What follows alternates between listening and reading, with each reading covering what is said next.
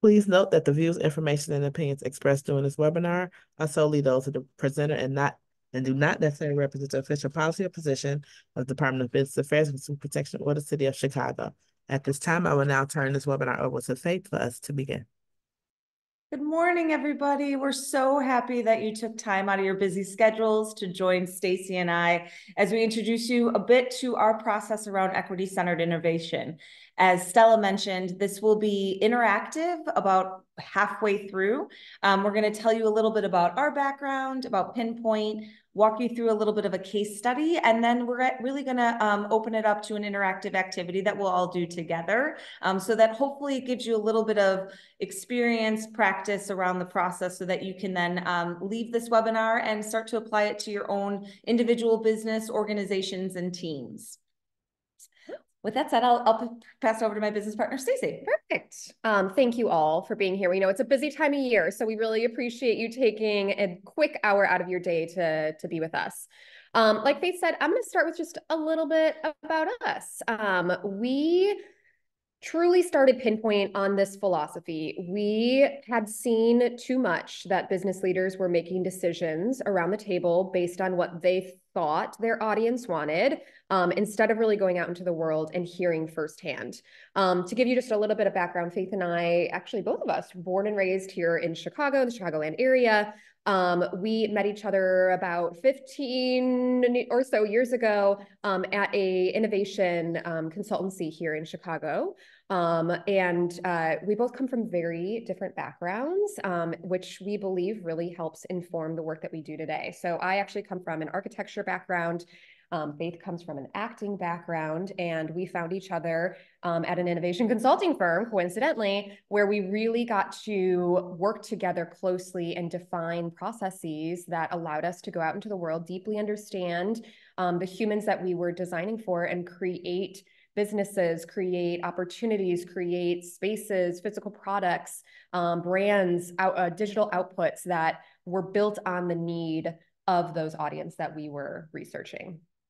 Um, our purpose, so we are truly on a mission to create more inclusive communities using what we call equity-centered innovation. Here's just a little stats of why we believe this is such important work in the world. The fact that 71% of consumers prefer buying from companies that value diversity and inclusion. 42% um, of people who are LGBTQ plus report living in unwelcoming environments. Um, Black women are three to four times more likely to experience a pregnancy-related death than white women. The list truly goes on. And we believe that it is time to start unpacking these data points and figuring out solutions to really switch and change the story.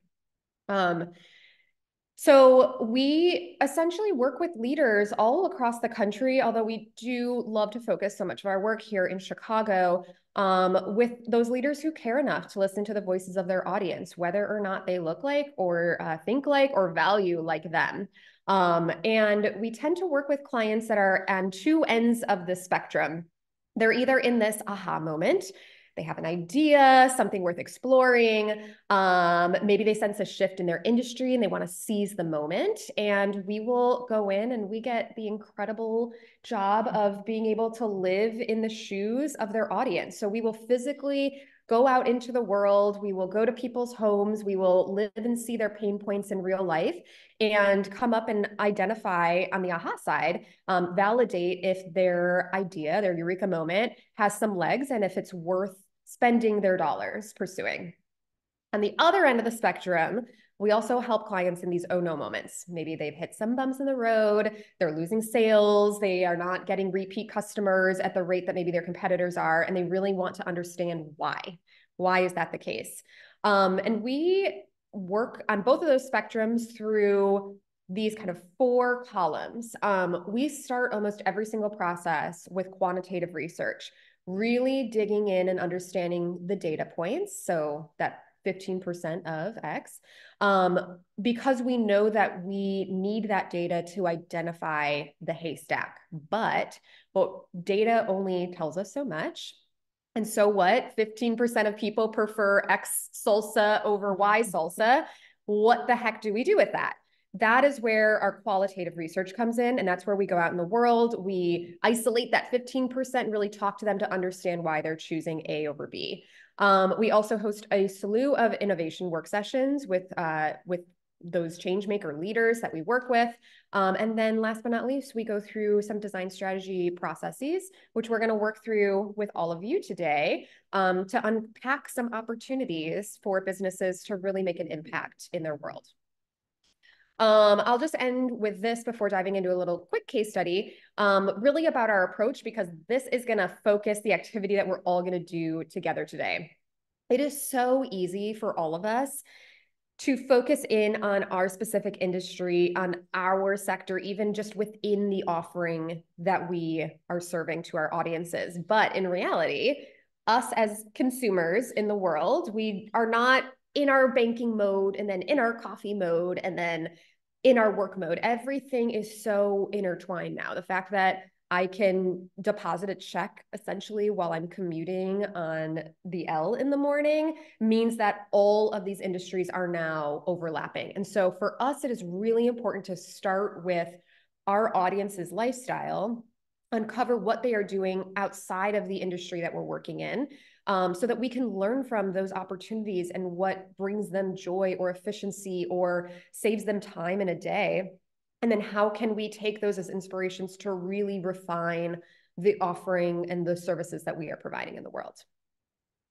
So with that, I'm going to show a very, very quick um, case study that was with uh, the American Dental Association. So they came to us with this, oh no, um, they are an association for dentists. You probably have seen them on, you know, ADA recommended, whether it's on a toothbrush or toothpaste. Um, but they really are an association for the profession. And the profession is changing drastically.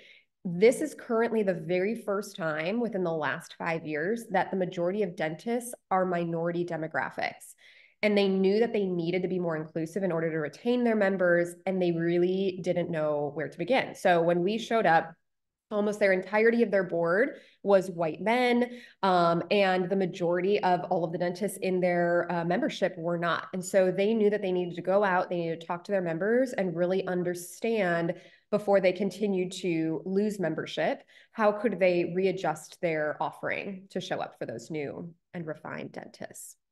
So um, we were actually very uh, grateful that they had done some research already and had identified that there were um, a few driving behaviors that were impacting a dentist choosing this profession to begin with.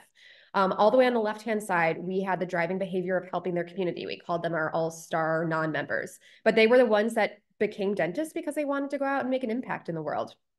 It was very different than our frugal focus members who most likely came into this industry to make sure that they had the lifestyle that they anticipated, but going through all of their uh, college and the amount of debt that is built up from going through a dental um, practice, they are in this moment of just trying to realize how they can relieve themselves of the amount of debt that they have uh, accumulated over time. Um, and then the last on the right hand side is our steadfast member. And this is the one that's really looking for a work life balance. They became a dentist because they saw that maybe they could adjust their hours as they wanted and needed so they could show up for their family, they could have a family, um, they could go on vacations as they wanted to, but also uh, work a life that they really enjoyed and loved. So we took these different audiences and we went out in the world and we found them and we recruited them and we actually went all across the country to meet with them one on one in person um, so that we could unpack what about those driving behaviors really impacted what they needed from an organization or an association um, to make an impact in their lives. This is just a little brief background of what some of our research looks like and feels like. Um, we walk them through a journey starting from pre dental school, how they even decided that they wanted to become a dentist, all the way into retirement. And we have them map out those high points and those pain points along the way. Um, and then this is kind of the exercise that we're all going to be doing today. Um, we, from those conversations, really unpacked their lifestyle beyond just being a dentist to learn what are the other um, services, programs, organizations that they were a part of that really helped their lifestyle. Some of the things that showed up were Weight Watchers. There was an app called Peanut for new mothers. And so we started to take these um, services and brainstorm around how we could, as the ADA, show up in a very different way that aligned with how these organizations were showing up for those dentists in their lifestyle. Um, this is just a few of the things that we heard. What we found really fascinating was even if I am in this mode as an all-star member where I am out there helping my community, that still looked very different based on who the type of dentist was.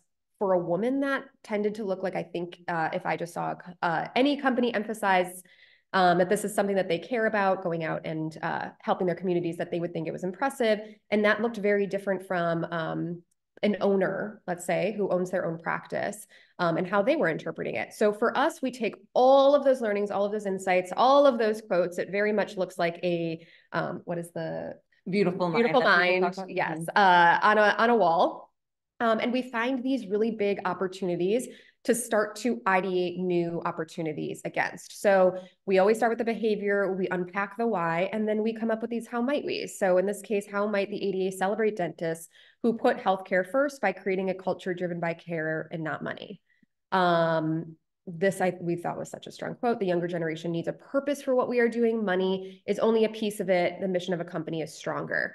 And so from there, we take those concepts. Um, this one was actually a global giving. So um, one of the dentists we had talked to, one of the ways that they give back outside of dentistry um, is through this global giving stories. And it's this website that has all of these stories of people who have really made impacts in meaningful ways throughout different community organizations. And then you can find the ones that resonate most with, most with you, filter through them, and then participate in a way that's really meaningful. So we took that concept and then we started to using that, how might we, a brainstorm how we could show up with um, opportunities for the ADA.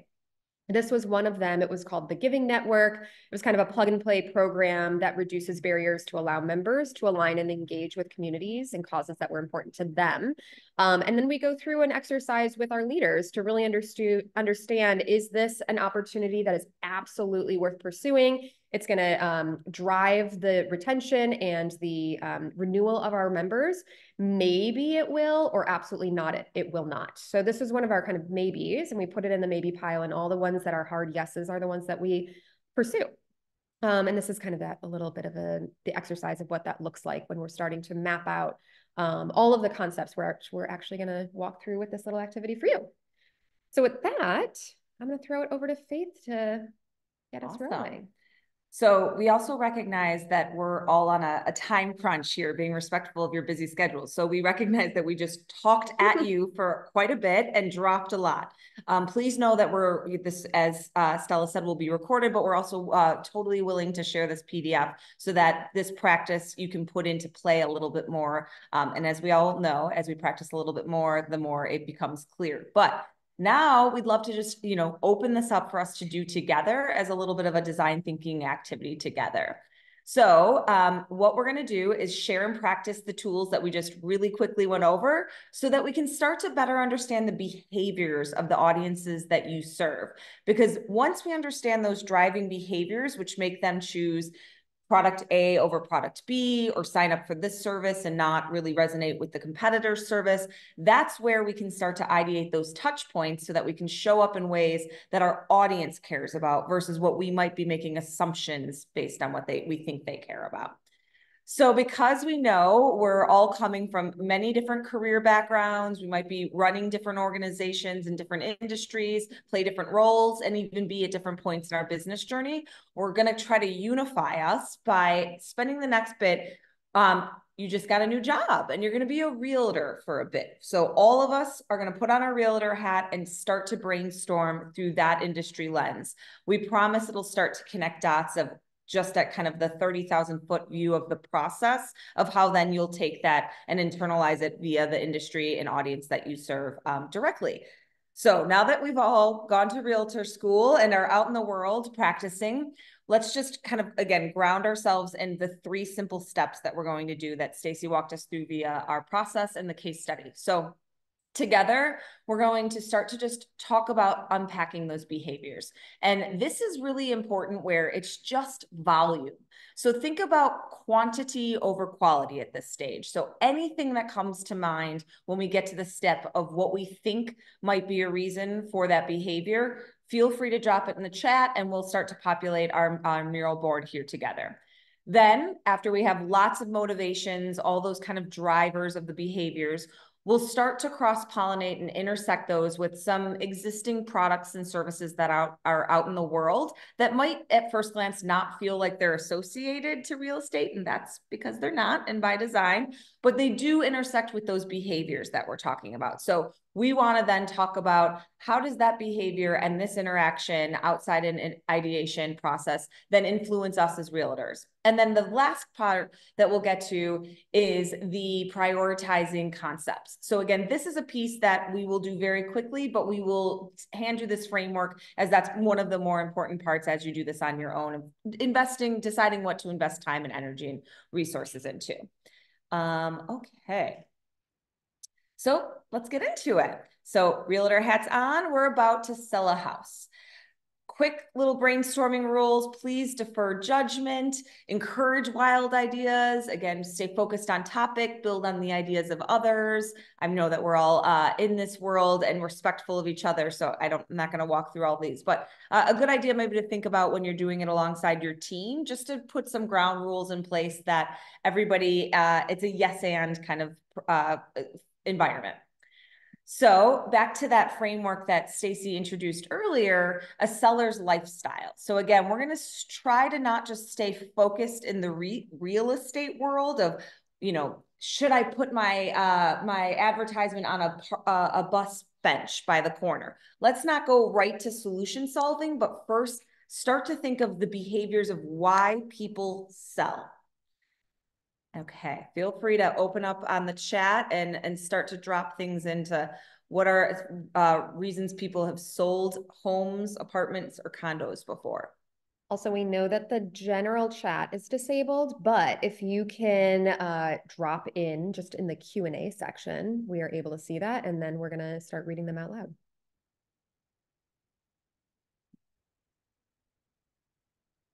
Marriage. Awesome. Yes, exactly location move. That can be for work. That can be out of personal that you want to do it. Perfect, perfect. Here, I'm just gonna try to get out of your way so that we can do. Have a child would like more space. Brilliant, brilliant, brilliant. Great. Sorry, we're tag teaming on one computer here. You guys are too smart at this. You're going too fast. Growing family, need more space. Perfect. Need a bigger home. Similar in vein. Ooh, school districts. Yeah. Great. Oh, I love the idea on the other side of the spectrum. So here we had marriage and growing families, but now empty nesters, again, downsizing perhaps in that in that world. Oh, these are great. Yeah, these are fantastic. Divorce, yeah, mm-hmm. absolutely. Mm. Better school district, yep. New job, new location. Mm. Mm-hmm. Right. No new parents. Oh. Great. Oh, smart too. An income property. So seeing it more as an investment than perhaps exactly where they'll live. Um, and then on the other side of that, you know, the, the current situation that they're in, they no longer afford. These are great. These are fantastic.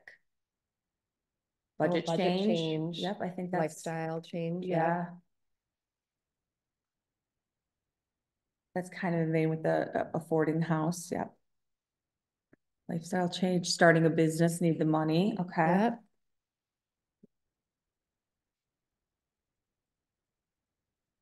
Great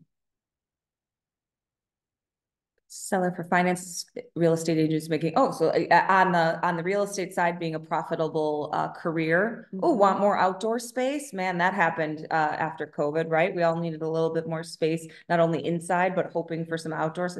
Bad neighbors. You said haha but i that I, I, I know people, who needed that. Yep. You absolutely needed to. Oh goodness.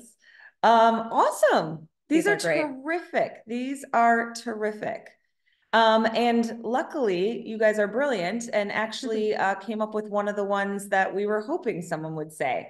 That idea of upsizing for family growth. So again, you know, it came up in different kinds of ways that they, you know, got married, had more children, um, and and needed more space. So in this, once we start to identify that pattern, so again, that driving behavior at that lifestyle level versus at the you know solution level, um, we start to see things exactly as we did just right here, which is there's a pattern of people that would be selling or buying because they need more room to continue to grow their family and or they're just on top of each other. So some interesting psychographics that we start to hear in those qualitative research sessions that Stacy was talking to are um, these kids are getting bigger and can't share a room any longer. I think everyone would sleep better if everyone had their own rooms. Um, I try my best to only buy the most natural, organic things for my family. Our collective health is important. So again, those psychographics, we start to go beyond just the physical space of the house because clearly if you're buying um, natural or organic, that's a part of your lifestyle and that's the way you make choices around that. So intersecting all of those lifestyle behaviors is where we can start to really hone in on some eh, differentiated ways to show up as realtors that resonate with the people that we're trying to seek uh, and convert into to, to ongoing customers. So with this idea of upsizing uh, for family growth, can we think of, you know, kind of double click a little bit further down on what might be some of the, the pain points or the behaviors within just upsizing for family growth? So um, someone earlier had said school district. Like, I think that would be another piece of this that that would be a lens that if you're upsizing for family that you wouldn't want to sacrifice on that you would most likely i assume want to also look at a great school.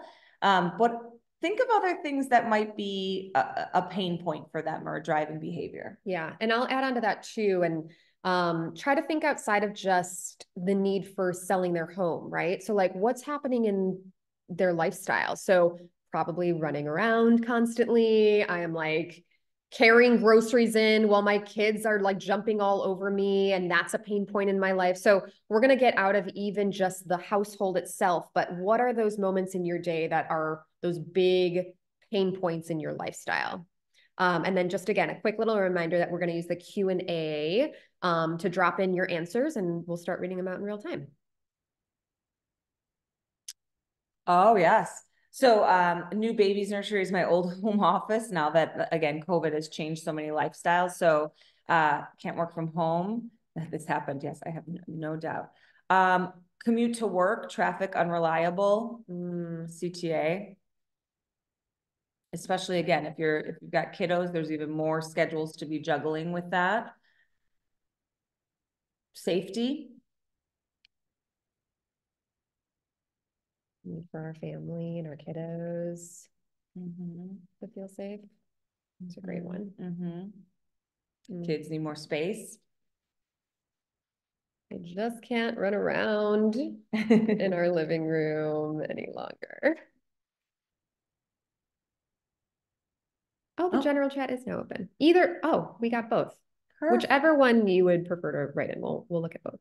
Um, Proximity to a park or playground. Yeah, great one. Building off of that, I need somewhere for my kids to be able to run around, burn some energy. These are great. Absolutely. Anything else coming to everybody's mind? Mm, mm. Yeah, I need to be close to the highway for easy access to work especially as we're all coming back into the office a little bit more. Mm-hmm.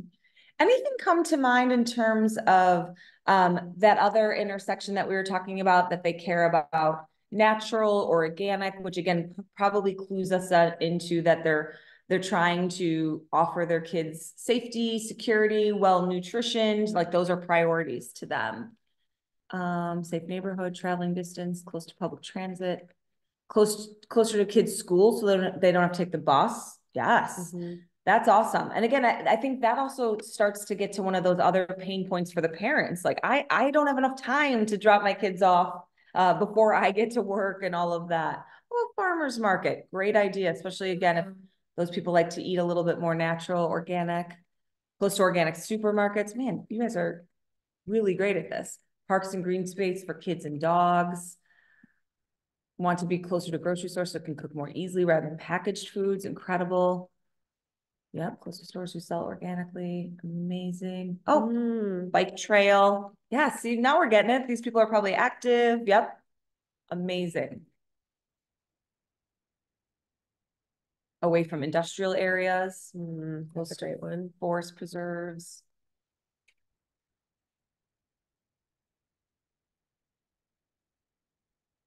These are great. Yeah, oh, take care of parents, so need to be closer.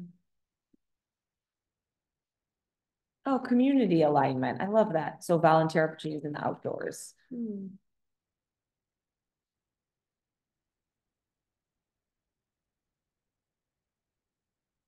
Dog friendly. Yeah, they wanna, maybe they don't need a, when they get that more space, they want a pet now. Yeah. I'm gonna say my kids have been asking for a pet forever. And won't give up. Oh, that's a great one, closer to gyms. Smart, smart. Oh, young community with young families. Wanting to, yeah, I want, I want kids, or I, I would like to have kids that are similar to my kids' age. Having a, people to play with.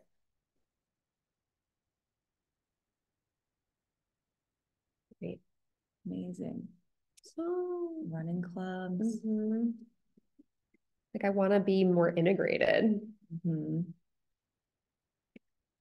in my community. Oh my goodness, all so good. We got Great. one last post-it. Any last thought? Otherwise, we'll, we can keep it moving. All right. Awesome. And- Oh, oh, that was a great one. Let's Check. add that one in. Um. My church community. Mhm. Great. Incredible. We filled it up. Oh, and have financial means for a better home. That's a great More one too. opportunity. Yeah. Yeah. Great. Awesome. Okay. So now we've done step one um, with like flying colors. Incredible job, everyone. Um, so like we said, so now we understand kind of the lifestyle traits, the driving behaviors. And so what we want to do is start to go outside of the industry that we're studying to see what other services or products solve for some of those lifestyle traits and driving behaviors that we've we've we've started to see within the patterns so that we can take inspiration from these and start to ideate within the real estate world how could that translate? So we're gonna we're by design giving you one that's around messaging on the on the far left loyalty and messaging. Then we have one in a digital touch point ex- experience uh, example a service touch point example, and then like packaging and branding. And we did that by design so that we can recognize that this type of doing uh, of research really influences so many of the touch points in which we show up for our audience. So even if we're might be trying to solve for one goal within the project, doing this research really takes off the blinders and shows us a lot of opportunity to differentiate ourselves not only from our competitors, but possibly even more importantly, to show up in multiple ways that the audience that we're trying to uh, convert, attract, and retain um, resonate with our brand and our experience uh, uh, as an offering or service. So on the left, on the loyalty and messaging, um, during COVID, the New York Times actually created what was a scream line, and it's exactly what it sounds like.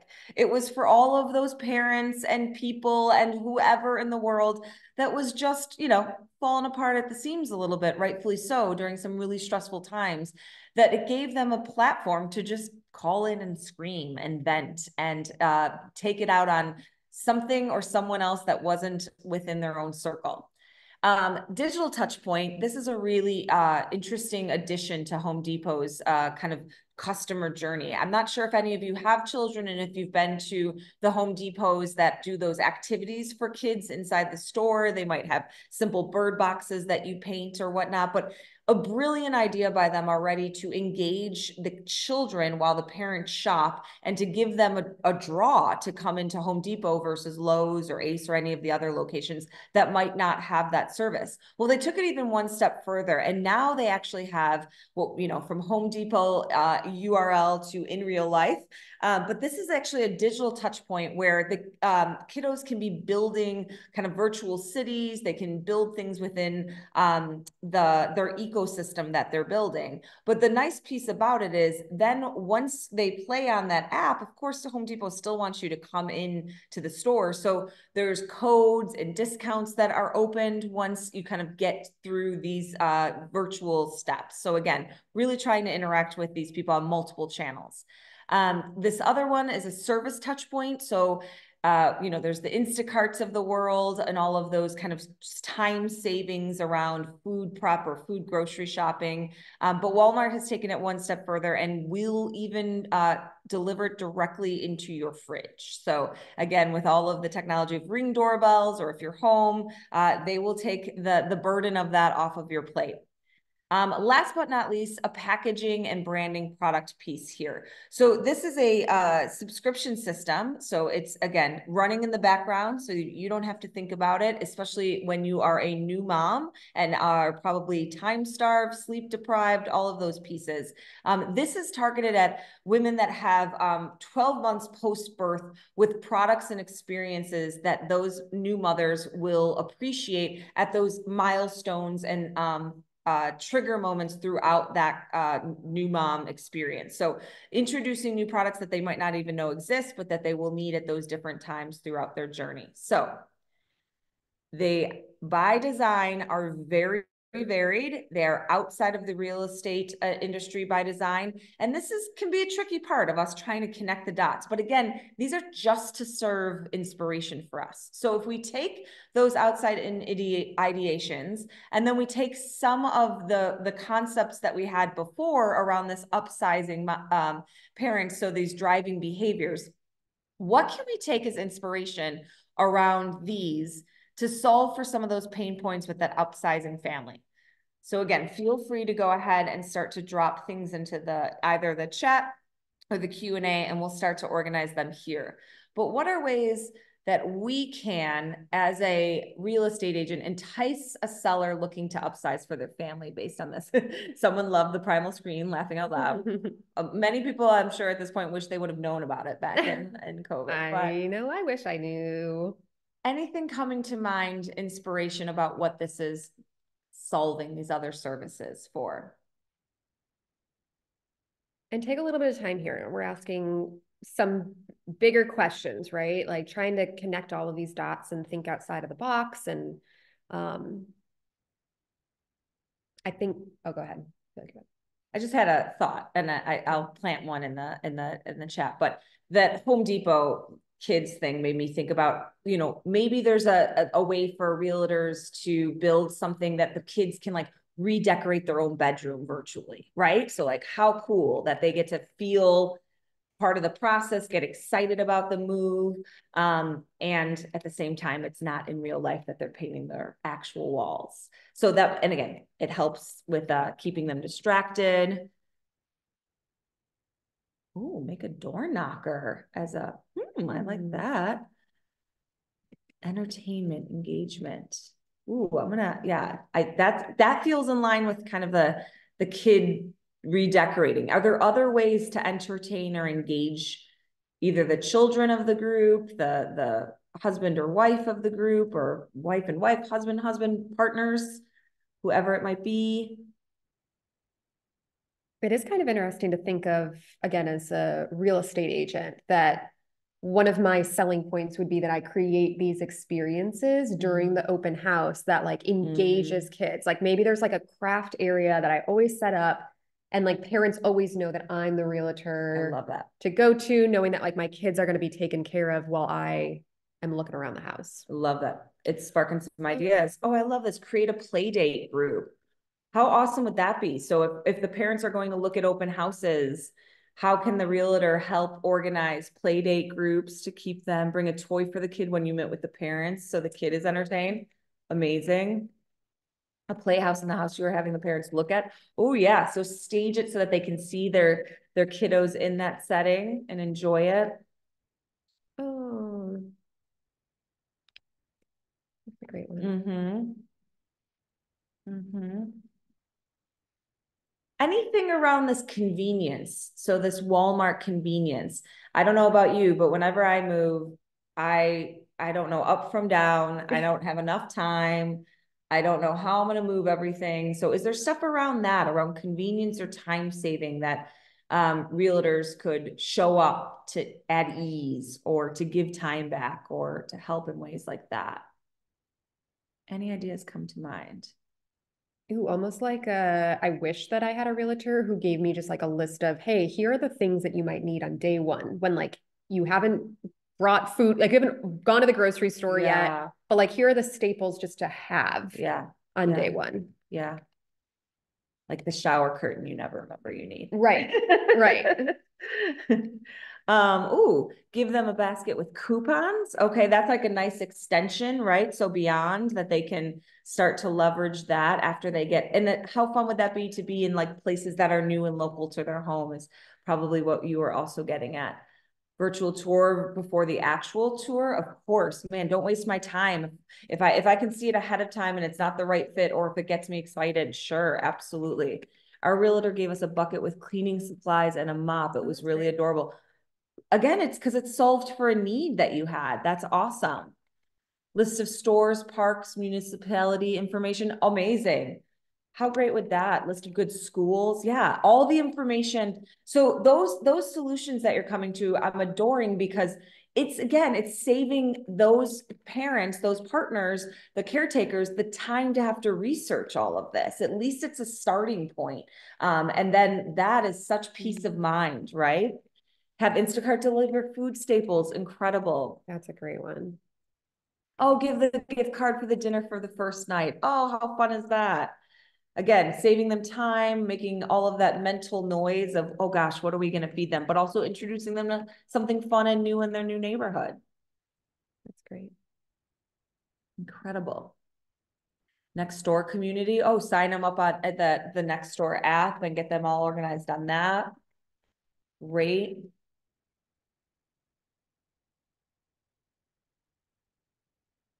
Um, we had talked about in the uh the lifestyle that they probably have a dog, or if they don't yet, they're like on the verge of it and they're like looking for parks. So maybe there's also like a p- like a map of all of the parks in the neighborhood of like where to bring your dog, um, or even like a um like maybe we just give them like a picnic basket like kit Cute. to encourage them to like, we know you moved to this new neighborhood for parks and Absolutely.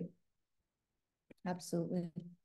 I'm building off of that Instacart, yeah, and how do you take it a step further and get like the organic local grocery store or give them, because when we heard that they like natural organic, we're building up those other ideas that you all had. Maybe there's a map of where the farmers markets are, things like that. Mm. That's great. The, the other thing that comes to mind, um, is, you know, when I'm, oh, oh, welcome to the neighborhood, buddy, a friend neighbor they can get in contact with. I love that. Ooh, man, I wish I would have gotten this. Partner with a snow removal or landscaper for a year of discount service. Wow. Incredible, Yeah. right? All the, all those things that we don't have time or energy or desire to want to do, which snow removal would be on the top of my list there. Mhm, mhm. That makes me think of what are other services around the moving time. I love that that's like an extension too. That's great with the snow removal. But are there other moments within that moving? You know, I I would imagine I, I'm not a mother myself, but just packing for myself, look like the burden of looking at all that I have Mhm. to pack and knowing that would that would be twofold, threefold, fourfold, depending on the kiddos. Maybe there's some interesting ideation around that that we help them solve for the actual just, uh-oh, there's a lot to pack up. Anything come to mind for everybody? Maybe there's like some sort of like moving concierge. Mm. Oh, like a wedding planner, but it's for moving, so they're like. There's logistics taken care of, there's timing, there's partners to build off of this other idea, like partners to. Get discounts with, like those pods or something, but they're introducing all of those transactions and points with you. Anything else coming up? Great. Awesome. This is incredible. Okay, I'm gonna pull just Yeah. a couple of random ones. We'll move to the next page. Oh, we have one more. Oh, yeah. A gift certificate for an organizer who packs up poems. Yeah, this idea of services that they partner with, incredible. I would just be over the moon for something like that. Well, I think what's interesting about seeing all of these and hearing all of these is that I don't know about all of you, but I did not have a realtor who Mhm. did any of these things. And talk about like even just one of these being a small differentiator that could help that realtor, your business that you just created, um, stand out from the competition, right? And if that word gets around that like you need to use this realtor because guess what? They are having Instacart deliver all of our food staples the day that Mhm. we move in. Like it's a small touch point, but that can be a really meaningful, impactful one that can take a business in a in a really strong direction. And and to build on that, the reason it can take a business in a really strong direction, besides it being so differentiated, is it goes back to it solves a need that that audience has, right? So that that idea of not coming home, you're exhausted, and then there's nothing in the fridge to eat, that's a real pain point. As opposed to, you know, the typical, here's a keychain for your keys or a bottle of champagne. Not that that's not generous, but it's not actually solving a, a pain point I have. So the, the the level of stepping this up and going further by really observing and doing this process so that you can show up in ways that stick with people because they don't forget that you were a hero mm-hmm. in some small or large way by solving a need that I had. Um, Rachel said that her realtor drove her to work one day after a showing and just like how meaningful that was. I will say to build on that outside of the realtor space, but when I was a little kid, I remember still to this day, this was probably 20 years ago, that my parents were car shopping and my mom and I had an appointment and my dad was still in his car shopping mode. And um the re- the car dealer or the salesman actually was like, Don, why don't you stay here? And he took my mom and I and drove us home so that we could make our appointment. And my parents stuck with that car dealer Yeah. for years after that. So again, it's like such a small little little moment, little touch point. But to Rachel, your point, like you will never forget that. And Mhm. it becomes the thing that people can't help but talk about. That becomes then the recommendation, the referral. forward. Yeah. Absolutely.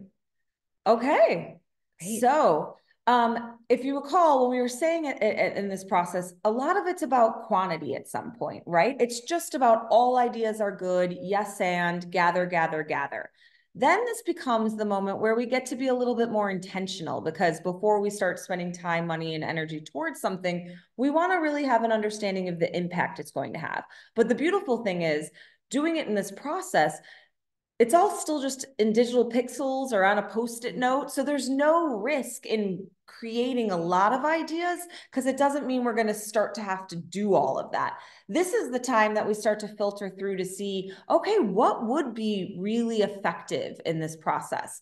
So you'll see on our axes, we have value and effort. So on the left-hand side, the value is how impactful will this be for the audience that we serve? So on the one end, low, on the other side, high. So going to Rachel's point again, never forgetting it. So those are the moments we really want to find. How will we really in, uh, leave an impression on our audience? On the other axis is effort. So easy or hard on both sides of the spectrum. And that's more internal looking. So if the other value is how externally, how it impacts the audience we serve, this is looking at our operations, our team, the feasibility of pulling this off. So easy meaning we could start doing it even tomorrow. Maybe it's about social media posts, like so free, just need to start to create the content. Let's get going versus hard, which is, you know, maybe that app that I was describing where kiddos can d- redesign something. Like that's going to take a little bit more time and a little bit more energy and money to build. But we want to still just map them all so that we can start to put together a roadmap of what we want to start to implement. So let's do this together and decide. So the tool for kiddos to redirect the, oh, I kind of know, led sorry. with this one. No, that's okay. Uh, that's a great example. Their future room and occupy them during an open house. Um, so obviously it's a little bit on the harder side because there will be time and investment involved. But what do we think the value of from low to high of that impacting? Do we, I, it's gonna be a little hard to communicate that over Okay, chat. Yeah, feel so free to drop into chat which quadrant maybe you see this concept landing in. yeah. Starting your realtor business tomorrow.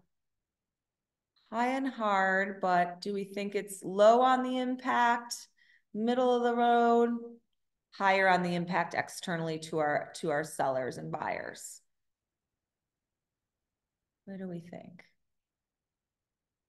Anybody want to weigh in? I know that you guys have thoughts. There's been a lot of thoughts up until now. All right, we, we, we, everyone's gone quiet on us. All right, so we'll, I'm gonna say it's like Yeah.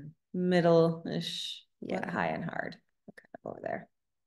I think that one's a definitely high value.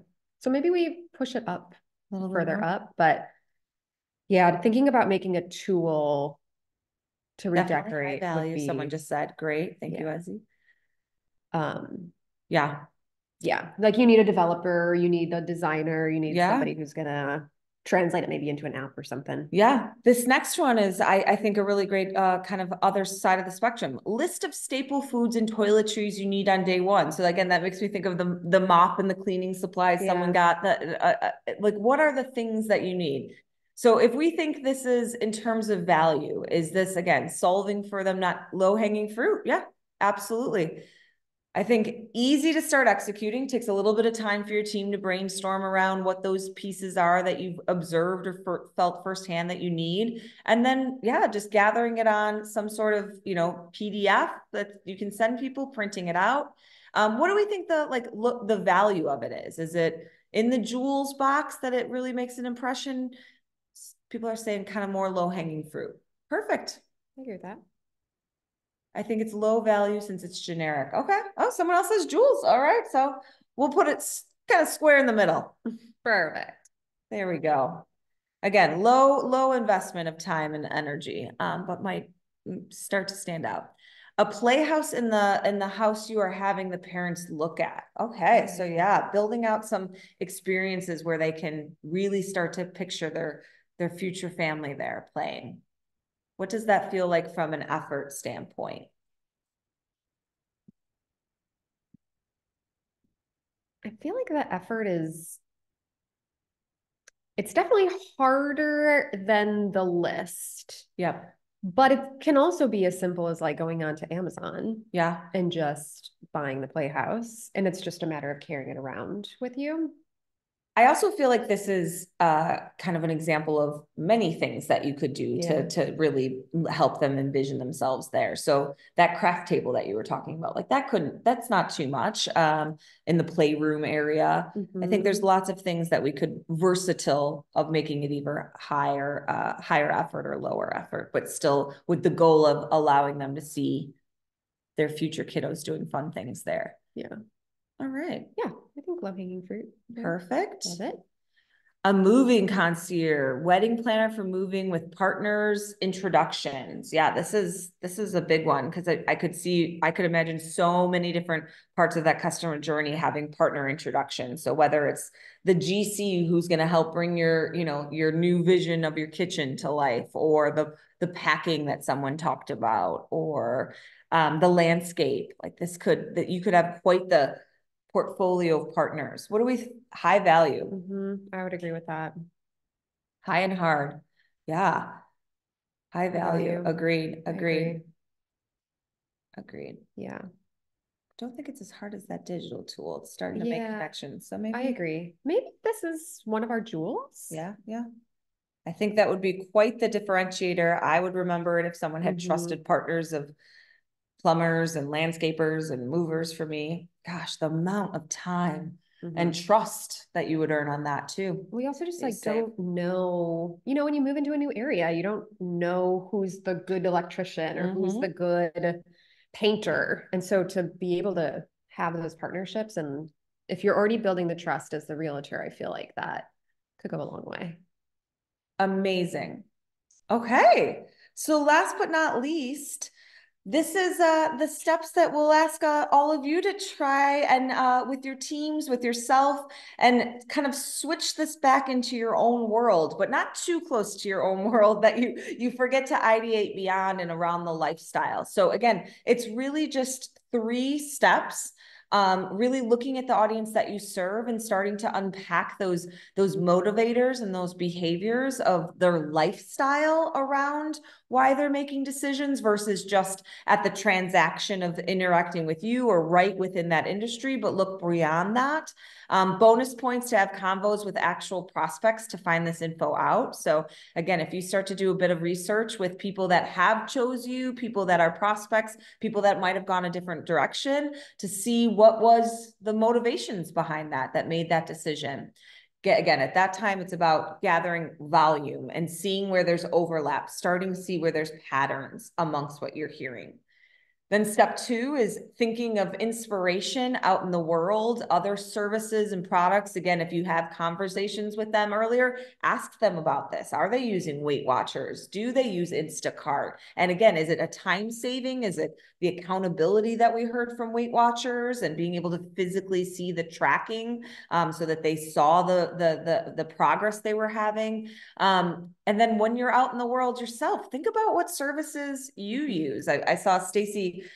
drinking her Starbucks coffee, and I guarantee she used their app mm-hmm. so that she mm-hmm. could just run in and pick it up and go. So, like the seamlessness that that is created, right? What are the other things you and others around you use in uh, outside in uh, ideation? And the bonus points here is if you keep a list of these over time to reference back to, it's amazing. Uh, you think you'll always remember them because they're impressionable, but once you start doing this quite often, there's so many good ideas and they keep adding on. So just start a Google sheet or an Excel and just start to organize them there. Um, can I build on that? Yes, too? please. Um, there's a lot like we have a um an act act every single morning. Faith and I kind of sit down and we open up a wide array of um of websites just to be inspired by for the day. And then to that point, we make our list of things that just are kind of in the back of our mind whenever we might need it. And some of those that have really been great inspirations for us, mm-hmm. we almost always open fast company, especially fast company design. There are just crazy companies out there doing crazy things. And sometimes, a lot of times, those businesses don't always make it, but there is something to be learned about what they are doing or the way that they're showing up for their audience that really can drive and inspire. Um, so definitely add Fast Company to your mm-hmm. list if you don't have it um, already. What are some of the other like big ones that we? Oh my goodness, I feel like there's so many. Um, I mean, we also do, you know, Chicago-based ones just to see what are happening in this in this uh, kind of proximity because that also is really uh, inherent of the trends that are coming about. Um, so Block Chicago, um, even like the Chicago Innovation, yeah, like the awards and who is getting the awards, why are they getting them this year? Um, yeah, so definitely encourage you to kind of if you whenever you need that little spark or you might have two minutes of downtime while you're waiting for um, a coffee date to show up just to like open up some of these and just see what else is happening outside of your industry to be inspired by and so now that we have those motivators from the step one, and there's a, a, a, lot, a lot of variety, again, pick some of those, you know, ideation inspiring companies that are happening and start to see, is there some way that these things connect? And what does that mean for my product, my service, my organization? And start to just concept around those. And again, that's still another point where it's wide and breadth is the the name of the game quantity, quantity, quantity. So that when you get to the step three, you can start to organize them just like we did, where it might be high or hard, but it might be jewels, it might be low hanging fruit, but man, we could start doing it tomorrow. Um, and then there will be some ideas that land in that bottom right quadrant, the drop. And that's okay. It's amazing when it's still just a post it or a pixel on a computer because it, it was no risk to us. It took a little bit of brainstorming time and that's all it cost us. Mhm. So again, starting to organize these and then put them into action, start to put some guardrails around, you know, in Q1 of next year, we want to, you know, do three of these or whatever it might be that's feasible for you and your team um, to start to implement and see what traction you get in showing up in a different way around the needs that your audience have versus what we might think they have. Mhm. Um, bonus points, we really mean this. Uh, uh, we'll show you on our next slide how you can get in touch with us, but feel free to connect with us. We love geeking out over this and brainstorming and thinking through new and different ways to differentiate yourself. Um, so feel free to reach out to us and we can talk about this over a, a little virtual coffee. Um, so you can find us. Here's our email. We're also on LinkedIn Mhm. um, under Pinpoint Collective. We're on Instagram at Pinpoint Collective. Um, yeah, with that, we'd love to just open up uh, a little bit of the remaining time for any questions, thoughts, comments. And feel feel free to use the Q and A if you want to um, ask a question there, and we can answer it live. Um, or also feel free to raise your digital hand too, and we can. Um, we would love to hear your voice. It feels like we've been talking at you all for an hour. So We have. yes. Any other last questions, thoughts? No one has raised their hand yet. Perfect. Thank you, Stella. Thank you, Shirley. Oh, yes. Thank you, Shirley. Do you all feel like there was a little something here that you could take and start to implement tomorrow within your own businesses? I hope. I mean, we would love to hear. Oh, Um, yes. Thank you. Thank you, Rachel. okay. Absolutely good.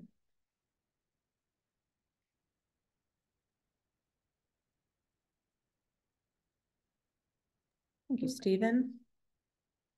Nobody? Oh, there we go. We have a hand. Regina has her hand up. Regina, let's hear it. Gina, you have been, un- go ahead. Yes, um, this was very interesting. Um, we I have a meeting with my partners on Sunday, so I will definitely be bringing this process to them to try and think outside the box and figure out how do we reach the market that we want to reach, and not just stay within our four corners, but go outside. So this gave me a lot to think about. Thanks for having this workshop. Oh, thank so you, glad. Regina.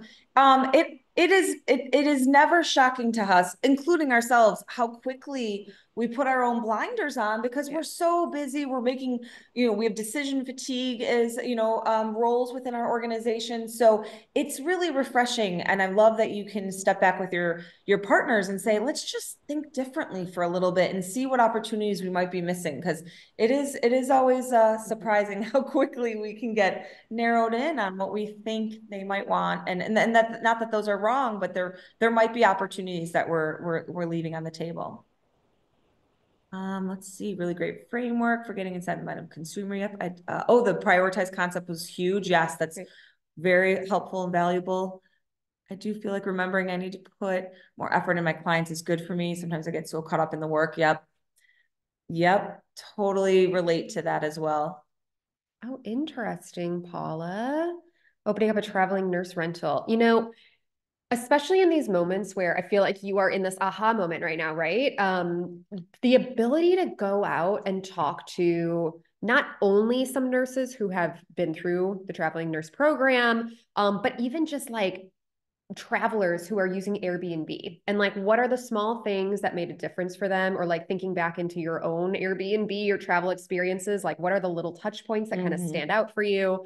Um is like such an incredible moment right now in your business journey so I wish you so much luck for that Yeah, that's awesome. awesome Incredible. any other questions And I think you went. We can barely hear you. Say something now. Um, Can't hear you. Before that. Are you guys talking? Let's set up a meeting with me and you. to Okay, I'm like, wait a minute. oh opening a karaoke Mark Does it, how Stella's going. to- No one else has their hand raised. I want us to have a plan for the planning of it. Well, thank you so much, everyone, for for, for your time today. Um, again, you, you can feel free to get in touch with us. Yeah. Uh, if other questions come up or you're, you, uh, as you think outside the box, which seems to be a pattern that we're hearing, which we love to hear. Um, we're, we're here, we're available, and we'd love to connect and, and hear about these exciting, uh, opportunities that you're either just starting to venture out on or, or have been doing for a bit and need to maybe think a bit differently. Yeah. Yeah, like Faith said, we are always up for a coffee talk, so please take advantage of that. Thank you, Stacy and Faith, for today's presentation. If you are a part of the BACP Entrepreneur Certificate Program and would like to receive credit for today's webinar, please log on to chicago.gov forward slash BACP certificate. Again, that's chicago.gov forward slash BACP certificate. A copy of this webinar will be posted on our YouTube page at youtube.com forward slash Chicago BACP. Um, and that's it for today. So happy holidays. Holidays is almost here and enjoy your weekend. Thank you so much. Thank you. So long. But like.